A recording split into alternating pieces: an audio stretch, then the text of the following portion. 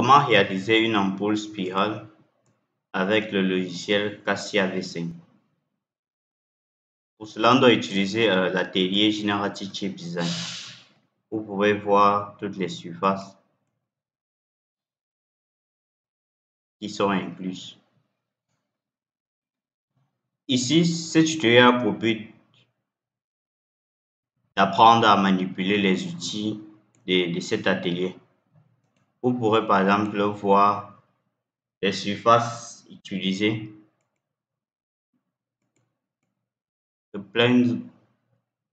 Vous pourrez apprendre à utiliser toutes ces fonctions, les points, les hélices et autres éléments. N'hésitez pas à vous abonner. Ce tutoriel sera bientôt disponible sur la chaîne YouTube.